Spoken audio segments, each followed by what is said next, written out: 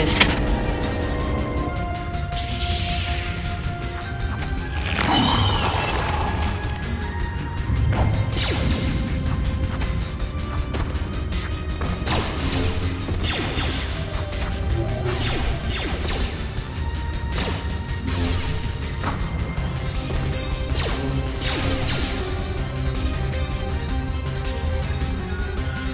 crystal responds to you. This is very rare indeed.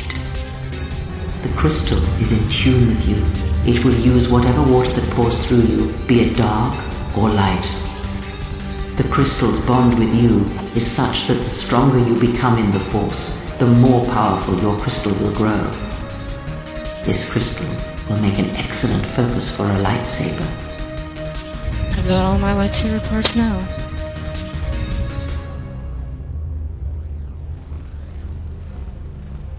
So they live in the same place, huh? Shh, Mercenaries. And there's Master Vrook. Halt, settler. This is a restricted area. How the hell did you get through the Kinrath? You should leave. Why are you holding Master Vrook prisoner? He's a Jedi Master? Well, the bounty's gonna be that much sweeter then. Nar Shaddaa is paying extremely well for Jedi, especially if they're alive. I'm gonna say this nice and simple for your little calf herding head. Unless you want to wind up dead, leave now. Open the cage. Let the Jedi out. What? That's a Jedi trick. Uh, we trained against that during the war. It's a Jedi, man. Kill her before she tries something else.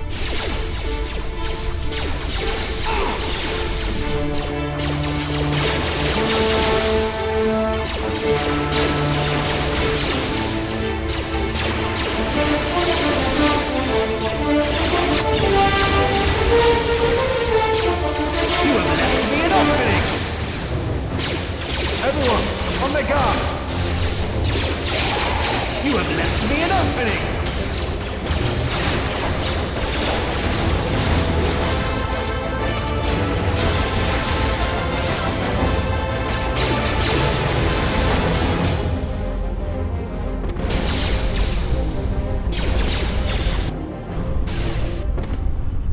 Always rushing into action without thinking of the consequences.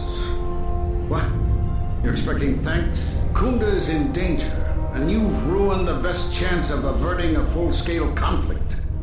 I just rescued you, and you yell at me? You honestly believe six mercenaries could keep a Jedi Master hostage? You still have no faith in the Jedi Council. Every action has consequences, no matter how small or insignificant they seem. And even the smallest choice has the potential for harm. The Mandalorian Wars was proof of this. Intentions mean nothing if a greater tragedy is caused. Is this the same careful timing you were planning on in the Mandalorian Wars? Did you think rushing into battle against the Mandalorians did anything but bring more harm to the galaxy? It only served to bring about a second war more dangerous than the first. Countless Jedi died in both conflicts, and everyone who followed Revan and Malak died or returned to the dark side. Except conveniently you. You would have waited as the Republic suffered from the Mandalorian's conquest. Disobeying the Jedi Council brought about more destruction than the Mandalorian Wars ever could. Countless Jedi lost, the Republic broken. Enough of this. This is not the time for such arguments. The mercenaries have allied themselves with the Exchange and are planning to attack Khoonda. They've been holding off for the right moment.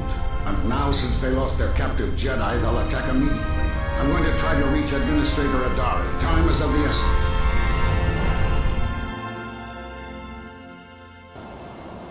You are the Jedi I've heard reports of, and I am Azkul, leader of the mercenaries on Dantooine. What do you want with me? Straight to the point. I like that. I will be equally direct. I am planning to take Khoonda, and you're going to help me. What makes you think I'm gonna help you, mercenary scum? According to my reports, I have four times as many soldiers as the militia, and I'm committed to taking Khoonda. It is inevitable that I will succeed. If you wish to avoid my men eradicating the people of Dantooine, you will make it easier for me to take Khoonda. Of course, I will pay well for your services. I'm not going to help you. You'd better reconsider. I can't have a Jedi interfering with my plans. There is a considerable bounty on your kind that I will collect on unless you're working for me. I'm getting tired of telling you no. You're gonna have to find someone else to hire. Men, I trust you can handle this Jedi.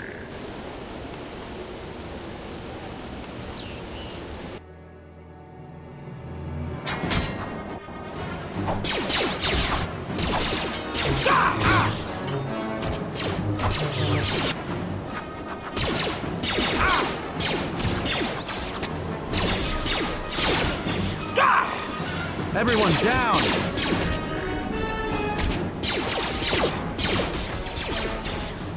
Let's get back to Khoonda.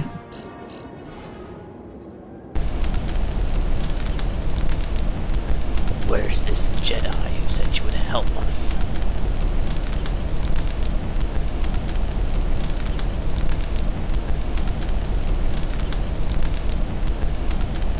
I don't suppose you're here to hire us. Yes, human sentient.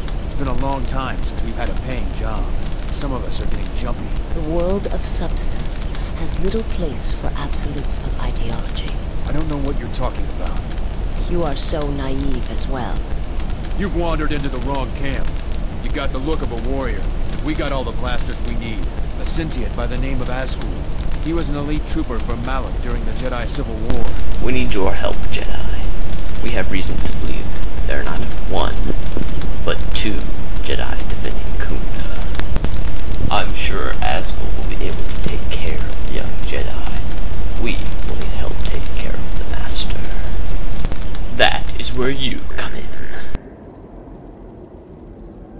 Found the elusive Master Vrook. He's told me that his rescue complicated our situation to some degree.